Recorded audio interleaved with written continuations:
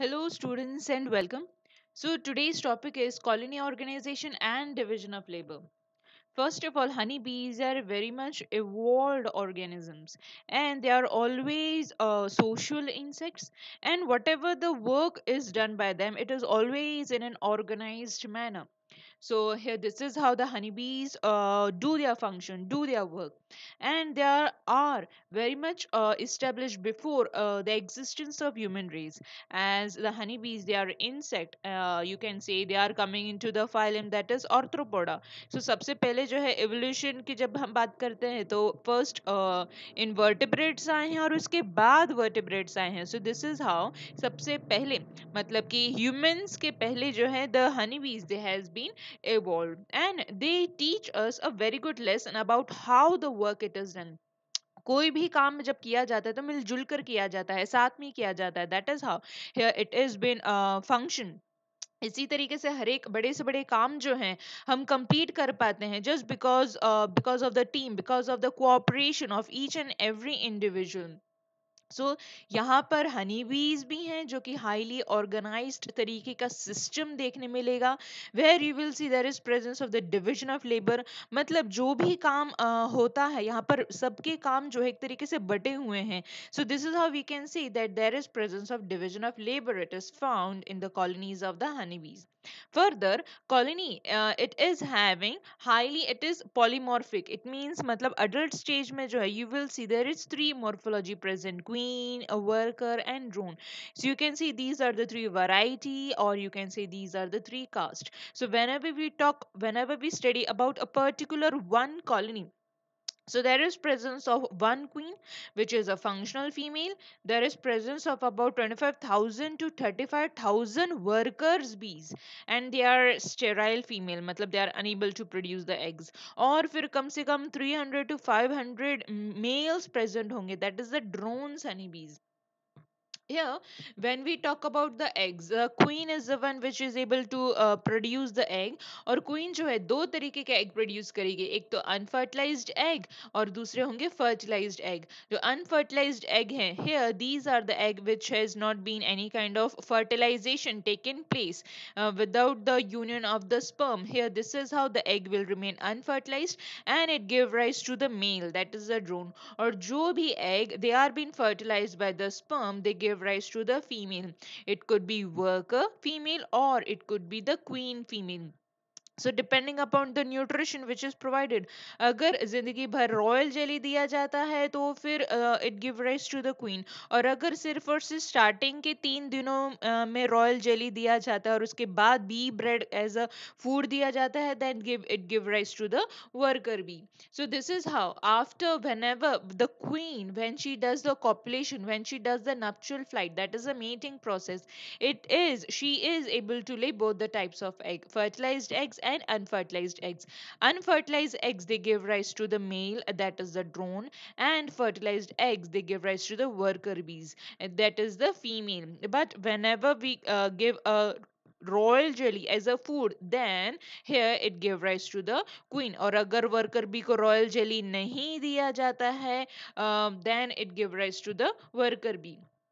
for further we will discuss about the queen queen she is the only fertile female so you can say these are the perfectly well developed fertile female and because of the well developed ovaries she is able to produce number of eggs so you can say that she is the mother of the colony and she is having well developed ovaries present inside और queen जो है उसे हमेशा खाने के तौर पर सिर्फ़ और सिर्फ़ रॉयल जेली ही प्रोवाइड किया जाता है so so this is how the one and only function of the queen is to uh, lay the eggs or uh, here in a one day she lays about 1500 eggs in a day. That is the twice of the weight of her body we are easily able to identify the queen why whenever we observe a queen so here you can see the length of the honeybee it is about uh, the queen honeybee it is about 15 to 20 mm in length so इतनी बड़ी जो honeybee है अगर देखने मिलती है तो समझ लेना कि वो जो है वो queen ही होगी क्योंकि बाकी जो workers और drones जो होते हैं they are in smaller in size so you can see the abdomen of the queen it is tapering abdomen and they are having short short legs and wings are present short wings are present और as we have already studied कि queen का जो function है उसका सिर्फ एक ही function है that is to lay the eggs और queen जो है she doesn't produce wax queen doesn't uh, help in honey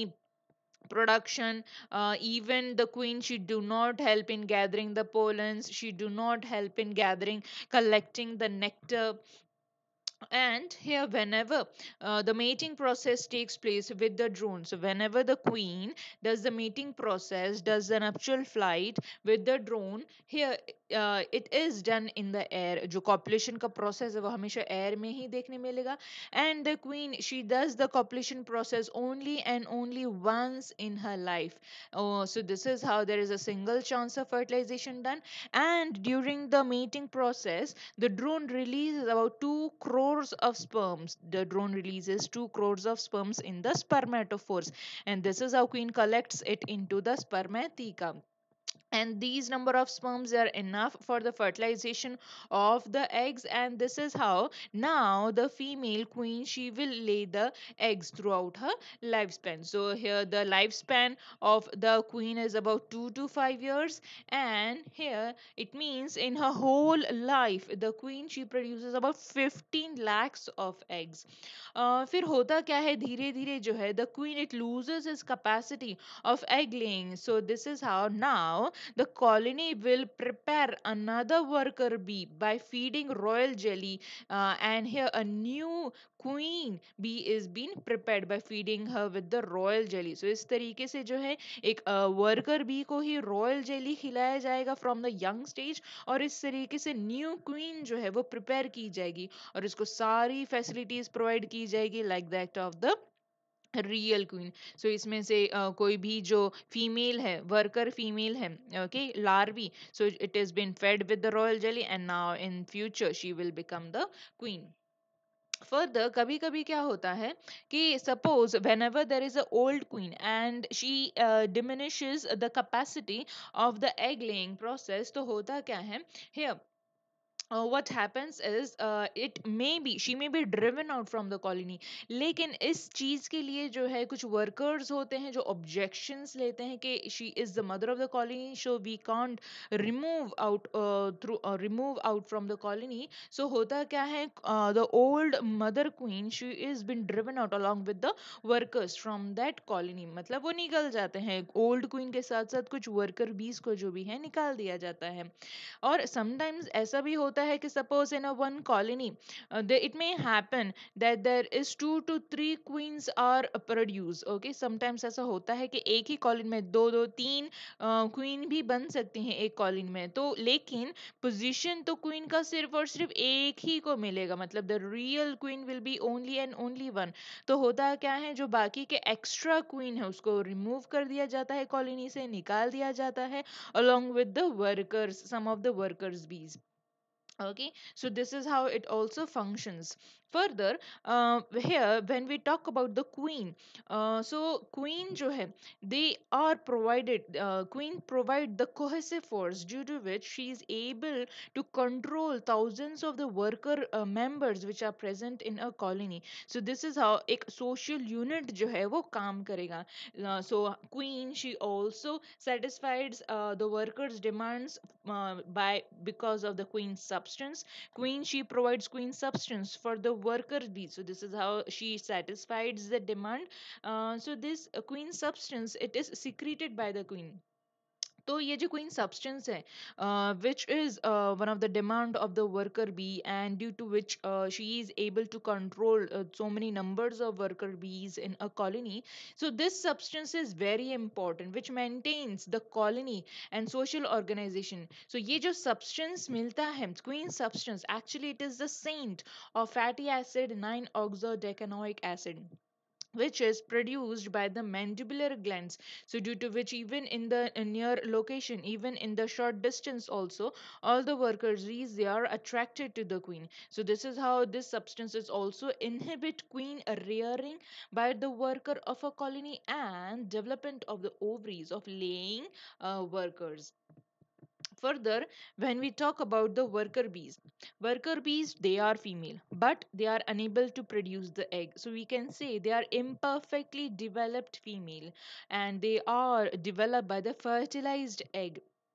which is being produced by the queen and the worker bees they live in the worker cell so uh, here the worker takes about 21 days so जब भी हम worker bees को देखते हैं तो uh, from the day, day the egg has been laid egg से जो है there is a formation of the lar- uh, larva stage pupa stage and then comes the adult stage so egg से तो adult stage तक पहुँचने के लिए workers को जो है कम से कम 21 दिन तो लगते ही हैं और जो लाइफ स्पैन होती है of the worker bees it is about 6 weeks. Workers जो है they do not produce any kind of eggs but इनके पास जो है, कुछ मैटरनल कैरेक्टरिस्टिक्स नज़र आएँगे, कुछ मैटरनल इंस्टिंक्ट्स नज़र आएँगे. एंड ये जो है workers they are the one who are responsible for the work which is necessary for the maintenance and for the welfare of the colony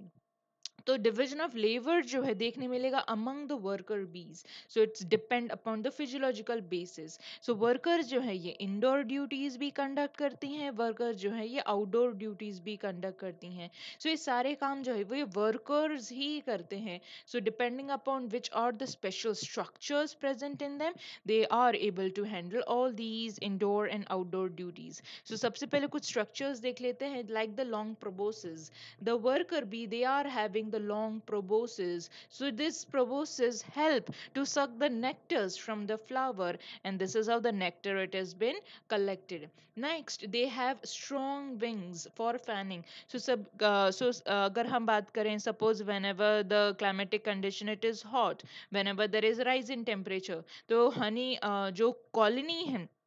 colony का टेम्परेचर मेंटेन करने के लिए जो है they do the fanning process so this is how they are able to maintain the temperature next the honey bees that is the workers they are having that is pollen basket in the hind leg so this is how they are able to collect the the pollens next they also have a sting apparatus they also have a powerful sting एक तरीके से हम इसको डंक भी बोल सकते हैं so they have a powerful sting so that they can defend they can protect the colony against number of enemies and they also have the wax glands and here this is how the wax secretion it is done by the worker bees Each worker bee they perform different types of work in her lifetime and this is how uh, they become fit for the various duties. So हमने देखा कि workers bees जो है इनकी पूरी life span होती है six weeks की। तो थ्री वीक्स तो वो पहले इंडोर ड्यूटीज़ करेंगे और बाकी के थ्री वीक्स जो है वो आउटडोर ड्यूटीज़ करेंगे। So this is how they do the function so और वर्कर बीज का फ़ंक्शन क्या है? That is secretion of the royal jelly royal jelly जो कि है एक food for the queen next they also do the feeding to the brood इसीलिए उनको जो है नर्स बीज करके बुलाएँगे। And here the function is feeding the queen also and the workers they also attend the queen Further, the worker bee they also secrete the bee wax by the wax glands. वो को build भी करती हैं combs को combs भी construct कर सकती करती हैं. They do the cleaning of the comb. They do the ventilation fanning करके. They keep the comb. They keep uh, the hive cool. They guard the hive. hive को जो है protect भी करती हैं. And here they also do the evaporating the nectar ताकि nectar जो है आगे जाके honey में convert हो सके. And here they also do the storing of the honey. Further so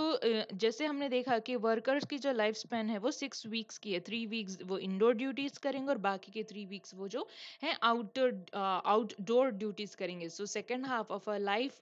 lasting is of three weeks where she attends to do the outdoor duties outdoor duties में आ जाते हैं जैसे नेक्टर को कलेक्ट करके लाना पोलन ग्रेन को collect करके लाना गम प्रोपोलिस को कलेक्ट करना वाटर को कलेक्ट करना so this is how uh, this has been received and this has been stored properly into the bee house that is in the beehive and this is how the uh, whole colony uh, the work it has been divided so जो भी